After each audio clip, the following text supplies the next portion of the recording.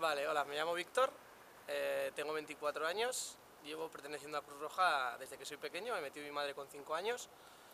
Lo dejé cuando empecé la universidad y volví hace cosa de 4 o 5 años. Me metí de educador en el, en el grupo de vacacional para cuidar críos.